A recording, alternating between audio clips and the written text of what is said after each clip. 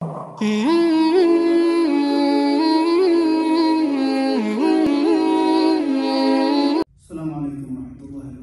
a quick message.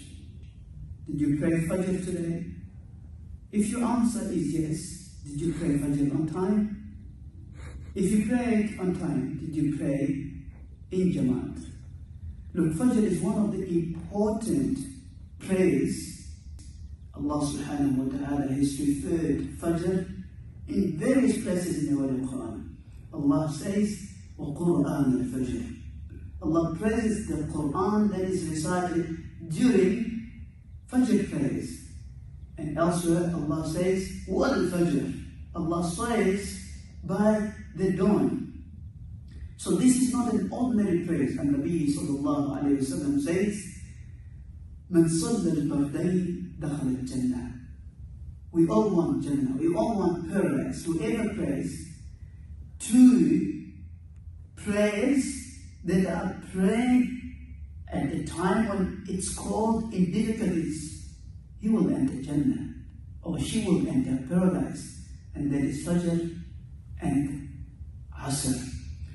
I know Fajr is very, very difficult because the night is short and you know with all these social medias we get back from work, we want to you know connect with the world, connect with the family members and we sleep late but subhanallah, people in the past would also sleep late. كانوا قليلا من الليل ما يهجعون. They used to sleep very less hours at night, not because of social media or because of this excuse and that excuse, no, because of Qiyamul Layl. Every night they will dedicate in praise.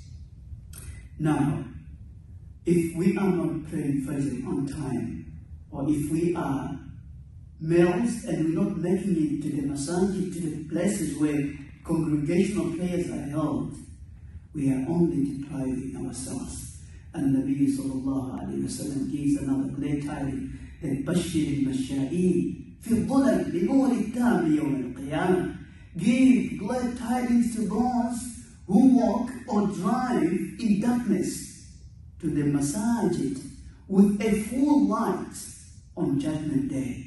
Allah, when enjoying that night and enjoying that sleep just before you get out for work, remember the day you're going to be buried. Remember the day that you're going to be buried by yourself and sleeping there in isolation and wanting the help of Allah subhanahu wa ta'ala to descend. If you want to have a good sleep in your grave, sacrifice your mornings and attend praise in congregation. You want barakah, you want blessings.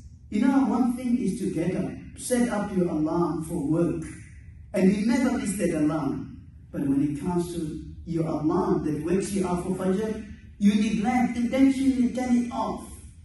And my Allah is Rahim, I can pray after sunrise. Yes, Allah is Rahim. But do you think if you go to work late every morning, will you say your boss is understanding? What will happen? Think about it.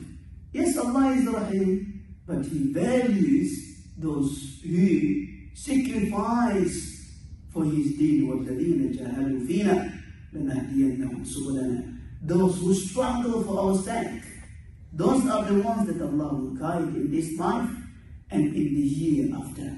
You want barakah?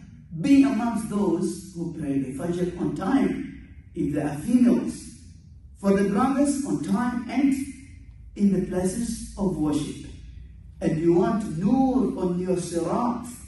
When you are going to Jannah, you know that bridge that is delicate, very delicate. Then come and attend Fajr prayers. You will see that light that will illuminate and shine for you when you're crossing over that sirat and making your way to paradise. May Allah subhanahu wa ta'ala grant us the understanding and inspire us all. Assalamu alaikum.